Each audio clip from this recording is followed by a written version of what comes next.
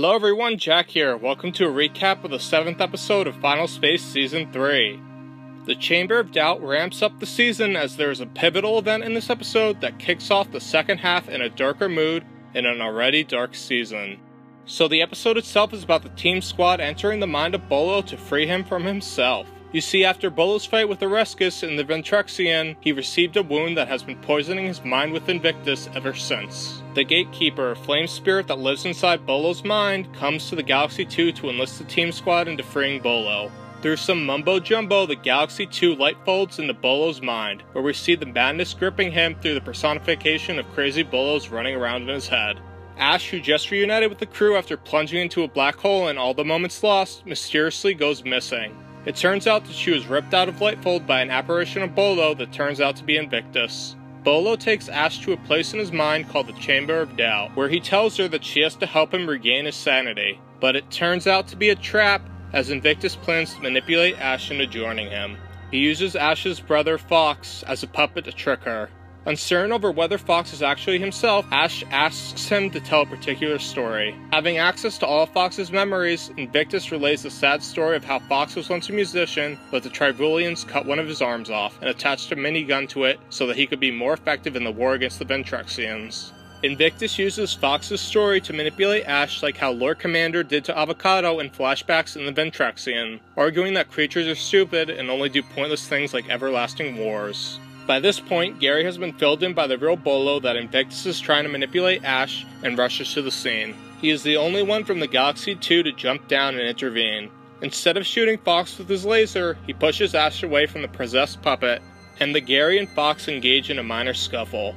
Invictus uses his closeness to Gary to use him too like a puppet. He takes control of Gary's robotic arm and configures it into a sword to plunge into Fox, ending him. Although the action was Invictus's doing, Ash seems to blame Gary for the disaster, as he could not fight Invictus off.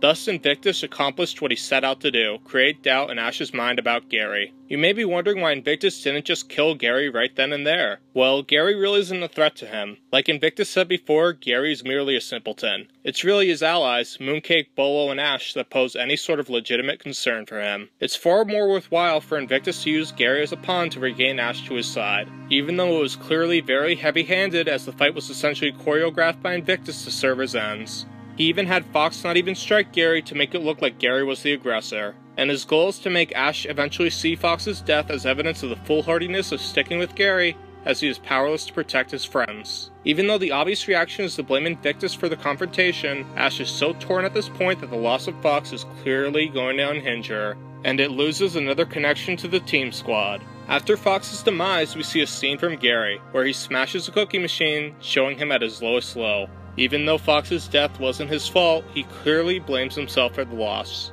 Although he thought he was doing the right thing by pushing Ash away from Fox instead of shooting him with his laser, his seemingly cautious action allowed him to be close enough that Invictus could use him like a tool. Invictus is trying to create doubt in Ash's mind about her friends, and he accomplishes this in the episode. Because if you can't trust your friends, then whom can you trust? There are two characters facing the major changes that happened to them last week Ash and Quinn. With Ash's transformation into an adult, you really have to wonder if this Ash is the same Ash.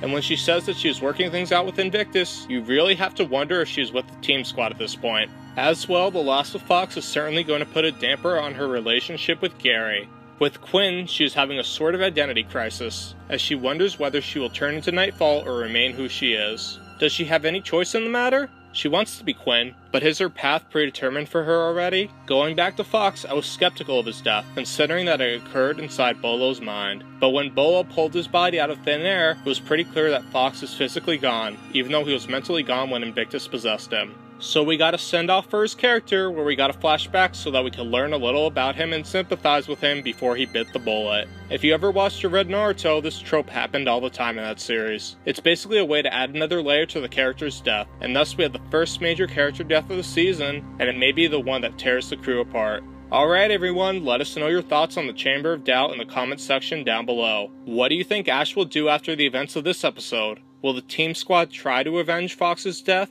And will you miss having Fox around? This is Jack turning off the TV. As always, have a wonderful day, and I will see you next time.